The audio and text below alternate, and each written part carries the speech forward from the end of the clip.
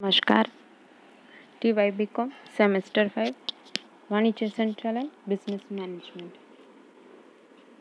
આપણે પેદાશ મિશ્ર વિશે ચર્ચા કરી, જેમાં પેદાશ મિશ્રમાં જેટલા પણ અંદરના એના ભાગો છે, એના વિશે ચર્ચા કરી. પેદાશ વશ, પેદાશ વસ્તુ, પેદાશ રેખા અને પેદાશ મિશ્ર.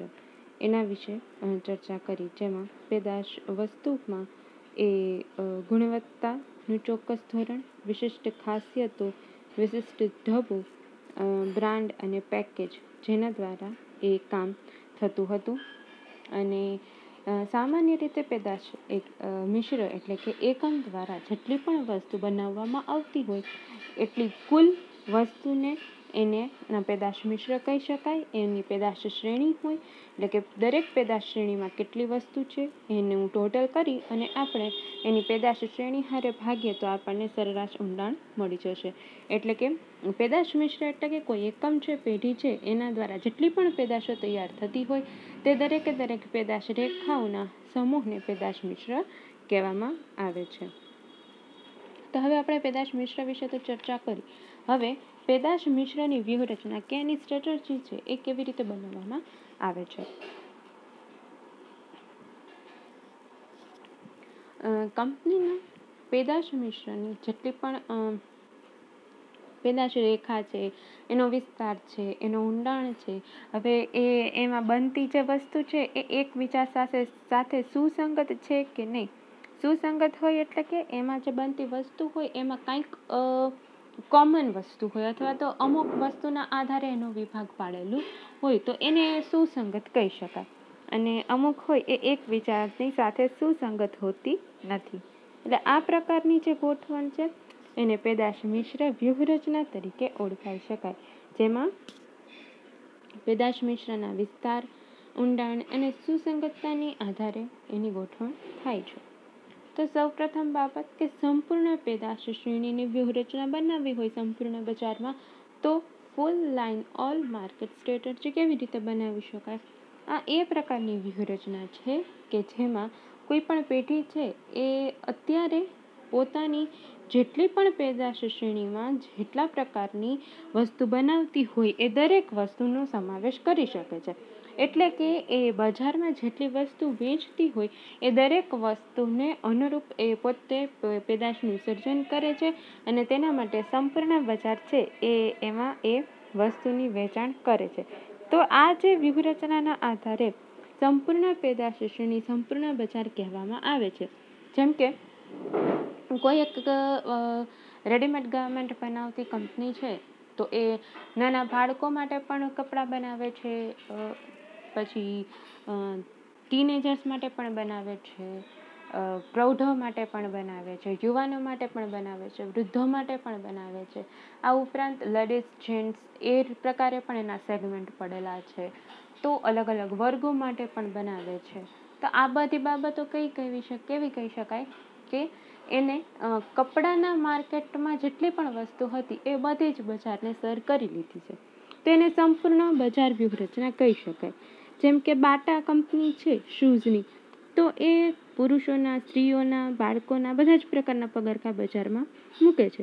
તો આ જે પણ પ્રકારની વ્યૂહરચના છે એ સદ્ધર કંપનીઓ દ્વારા અપનાવી શકાતી હોય, જેને સંપૂર્ણ બજાર વ્યૂહરચના કહેવાય છે. Full line all market strategy ટૂંકમાં જે પણ પ્રકારની કંપની વસ્તુનું ઉત્પાદન કરતી હોય, એમાં જેટલી જેટલી પ્રકારની વેરાયટી વિવિધતા થઈ શકતી હોય, એ બધા જ પ્રકારના સેગમેન્ટને એના દ્વારા એ વસ્તુ પૂરી કરવામાં આવતી હશે. નંબર બે છે, વિશિષ્ટ બજાર વ્યૂહરચના માર્કેટ સ્પેશિયલિસ્ટ તો માર્કેટ સ્પેશિયલિસ્ટમાં શું હશે? પેદાશ મિશ્રની આ વ્યૂહરચનામાં બજારના કોઈ એક ચોક્કસ વિભાગની જરૂરિયાત સંતોષવા માટે પેદાશો બજારમાં રજૂ કરવામાં આવે છે. જેમ કે કોઈ એક કંપની છે તો એ કોસ્મેટિક બનાવે છે. મેબલિન, ધારી લો. તો હવે એ કોસ્મેટિક બનાવે છે. તો આ શું થયું? એક સેગમેન્ટ થયું. લેડીઝ આઇટમ થઈ. એમાં પણ કઈ આઇટમ થઈ? મેકઅપ માટેની, કોસ્મેટિક્સ આઇટમ. તો એ થશે, એક સેગમેન્ટ અથવા તો એક વિભાગ. તો એક્ઝામ્પલ લઈ શકાય. કપડાં માટે હોય શૂઝ માટે હોય, એટલે કે પગરખાં માટે હોય, સૌંદર્ય પ્રસાધન માટે હોય, તો એવી અલગ અલગ વસ્તુનો આખું એક બજાર હોય. તો એ કહેવાશે વિશિષ્ટ વસ્તુ માટેનું બજાર. હવે અમુક બીજું એક હવે એક અમુક બીજું જે બજાર હોય, તો એ એવું હોય, જેમ કે મનોરંજનની વસ્તુ, ઇલેક્ટ્રોનિક આઇટમ્સ જે પણ મળતી હોય, તો એમાં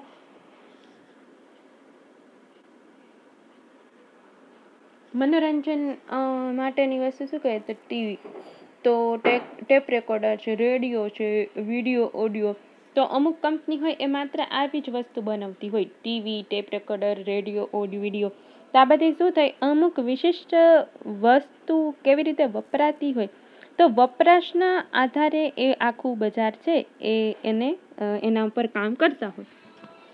તો એને કહેવાશે વિશિષ્ટ બજાર વ્યૂહરચના. જેમ કે અમુક કંપની છે, હવે એ દૂધનું વેચાણ ન કરતી હોય, એ માત્ર ને માત્ર આઈસ્ક્રીમ જ બનાવતી હોય. જેમ કે અમૂલ છે, તો એ તો દૂધને લગતી બધી જ પ્રોડક્ટ્સ બનાવે છે. દૂધ, દહીં, છાશ, બટર, તો બધી જ વસ્તુ બનાવે છે. આઈસ્ક્રીમ હવે અમુક એવી કંપની છે, જેમ કે વાડીલાલ છે. તો એ કંપની છે, એને, એનું એ શું કરે છે? ખાલી આઈસ્ક્રીમ બનાવે છે. તો આ શું થયું? આઈસ્ક્રીમ ઉપર જ એનું કામ કોન્સન્ટ્રેટ રહેશે. તો માર્કેટ સ્પેશિયાલિસ્ટ કહી શકાય એને. પછી છે, પેદાશ રેખા, વિશિષ્ટતા પ્રોડક્ટ લાઇન સ્પેશિયાલિસ્ટ એક જ પ્રકારની પેદાશમાં વિશિષ્ટતા વિશિષ્ટતા આપે. એટલે કે જેને પેદાશ રેખાની વિશિષ્ટતા કહેવાય. તો જેમ કે બજાજ ઇલેક્ટ્રોનિક્સ છે, તો એમાં લેમ્પ, ટ્યુબલાઇટ, ઇસ્ત્રી, મિક્સર, હીટર, ગીઝર, તો આ બધી વસ્તુ કેવી થાય? ઇલેક્ટ્રોનિક. બરાબર? તો એ વોશિંગ મશીન છે, એસી છે આ બધી ઇલેક્ટ્રોનિક આઇટમ થઈ તો એ એક જ પેદાશ રેખા થશે ઇલેક્ટ્રોનિક આઇટમ્સ એની અંદર આ બધી વસ્તુ દે છે. એમાં પણ ઘણી બધી વેરાયટીઝ દેતા હોય. બરાબર? કિંમતના આધારે કલરના આધારે, એની, એમાં જે અલગ અલગ ફીચર આવતા હોય એ ફીચર્સના આધારે. તો આ શું થશે કે એક જ પેદાશ રેખામાં ઘણી બધી બાબતોનું ઉત્પાદન કરીને એમાં પણ વિશિષ્ટતા આપતા હોય. જેને કહેવાશે પેદાશ રેખા વિશિષ્ટતા અથવા તો પ્રોડક્ટ લાઇન સ્પેશિયાલિસ્ટ પછી જે મર્યાદિત પેદાશ રેખા વિશિષ્ટતા. હવે સમગ્ર આખી આખી પેદાશ રેખા નહીં, પરંતુ એમાંથી પણ એક વસ્તુ પસંદ કરી અને જેમ કે ઉચ્ચ ગુણવત્તાની વસ્તુ દેવી હોય તો એમાંથી પણ એક વસ્તુ પસંદ કરીને પેદાશ રેખાની વિશિષ્ટતાની વ્યૂહરચના બજાવ બનાવવામાં આવતી હોય. જેમ કે કોઈ એક કંપની છે તો એ માત્ર બાળકોની જ સાયકલ બનાવતી હોય. એ જેન્ટ્સની, લેડીઝની એવી ન બનાવતી હોય, માત્ર બાળકોની જ બનાવતી હોય. તો નાના બાળકોની સાયકલ બનાવતા હોય. તો આ શું થશે? એક સ્પેશિયાલિટી થઈ જશે. જેવી રીતે આપણે વાત કરી હતી કે કોઈ એક કંપની છે તે માત્ર કોસ્મેટિક આઇટમ જ બનાવે છે. તો કોસ્મેટિક આઇટમમાં પણ ઘણી કંપનીઓ છે. મેકઅપની જ આઇટમ બનાવતી હોય. કદાચ કોસ્મેટિક પણ નહીં, ખાલી માત્ર ને માત્ર મેકઅપની આઇટમ બનાવતી હોય. તો આ બધી વસ્તુ એવી થશે કે મર્યાદિત.